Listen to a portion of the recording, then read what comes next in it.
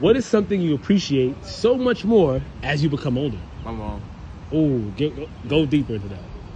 Well, like, looking back at it, you know, like uh, I don't know how it is like different like Cultures. yeah cultures Mhm. or like ethnicities, whatever. Mhm.